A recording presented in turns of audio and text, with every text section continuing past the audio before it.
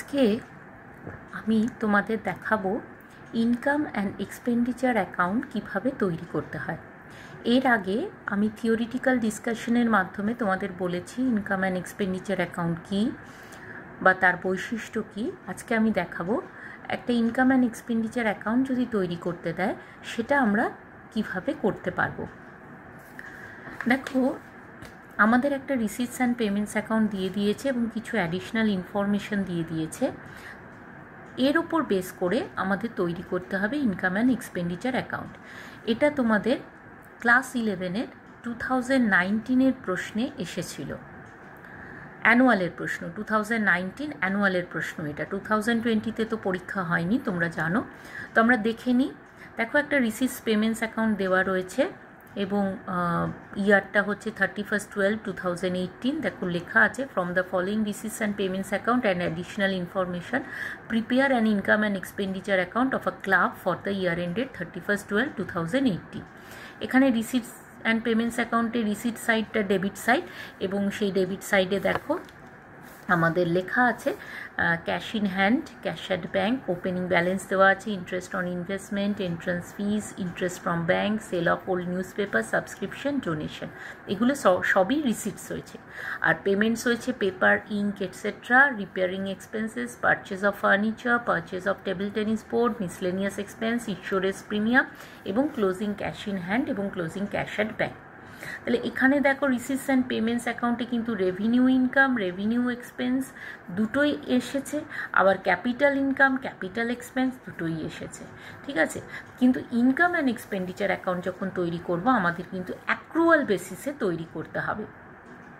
Additional ইনফরমেশনগুলো দেখে নাও। Subscription in arrear for two thousand eighteen rupees sixty five thousand and subscription received in advance for two thousand nineteen sixteen thousand prepaid insurance premium rupees 1300 outstanding miscellaneous expenses rupees 3500 60% donation is to be capitalized.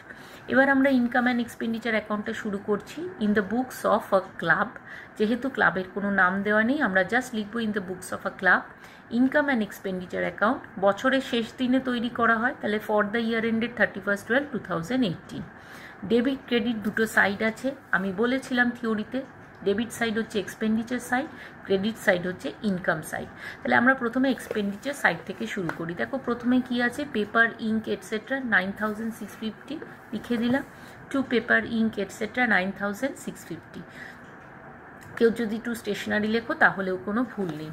এরপরে repairing expenses thirty six thousand তাহলে to repairing expenses thirty six thousand পরের expense দেখো purchase of furniture rupees one lakh fifty thousand এটা capital expenditure তাহলে income and এক্সপেন্ডিচারে শুধুমাত্র revenue expenses আসে capital expenditure আসে না, তাহলে পারচেজ অফ ফার্নিচার আসবে না। Purchase of table tennis board এটাও ক্যাপিটাল এক্সপেন্ডিচার তাহলে ইনকাম অ্যান্ড এক্সপেন্ডিচার অ্যাকাউন্টে আসবে না। Miscellaneous expenses sixteen thousand five hundred এনেছি miscellaneous expenses sixteen thousand five hundred এর সঙ্গে দেখো অ্যাডিশনাল ইনফরমেশন দেওয়া আছে আউটস্ট্যান্ডিং রয়েছে three thousand five hundred outstanding বলতে বকেয়া মিসলেনিয়াস এক্সপেন্সেস রয়েছে, যেটা এখনও প্রদান করা হয়নি। কিন্তু এটা এবছরের খরচ যেহেতু এবছরের খরচ, সংশ্লিষ্ট হিসাব খাল মানে দু হাজার আঠেরো সালের খরচ, তাহলে এটাকে আমাদের অ্যাড করতে হবে। আমরা দেখো অ্যাড করে দিয়েছি add outstanding three thousand five hundred তাহলে টোটাল মিসলেনিয়াস এক্সপেন্সেস আসছে টোয়েন্টি থাউজেন্ড এরপরে দেখো ইন্স্যুরেন্স প্রিমিয়াম আছে সিক্স থাউজেন্ড এইট হান্ড্রেড লিখেছি to insurance premium six thousand eight hundred তার মধ্যে বলেছে prepaid insurance premium one thousand three hundred তার মানে দু হাজার উনিশের ইন্স্যুরেন্স প্রিমিয়াম দু হাজার আঠেরোতে প্রিপেড হয়েছে। তাহলে এবছরের খরচ নয় লেস করে দেবো। তাহলে less prepaid one thousand three hundred করলে আমাদের এবছরের ইন্স্যুরেন্স প্রিমিয়াম বাবদ খরচ হবে ফাইভ থাউজেন্ড ফাইভ হান্ড্রেড এইবারে ইনকাম সাইটে যাই। ইনকাম সাইডটা পাবো রিসিস সাইড থেকে। তাহলে interest on investment nine thousand five hundred দেখো এনেছি। By interest on investment nine thousand five hundred এরপর entrance fees seventy five thousand এখানে কিন্তু এন্ট্রান্স ফিজ সম্পর্কে আর কোনো কিছু বলা নেই। এন্ট্রান্স ফিজের ক্ষেত্রে এটা সংশ্লিষ্ট প্রতিষ্ঠানের ওপর নির্ভর করবে যে এটা ক্যাপিটাল ইনকাম হিসেবে ধরা হবে না রেভিনিউ ইনকাম হিসেবে ধরা হবে। আমরা এখানে এন্ট্রান্স ফিসটা রেভিনিউ ইনকাম হিসেবে ধরেছি। দেখো, আমি নিচে একটা নোট দিয়েছি entrance fees has been treated as revenue income তো আমি রেভিনিউ ইনকাম হিসেবে যেহেতু ধরেছি, তাহলে আমি by entrance fees seventy five thousand credit সাইডে আনব। সাধারণভাবে এন্ট্রান্স ফিস রেভিনিউ ইনকাম হিসেবেই ধরা হয়।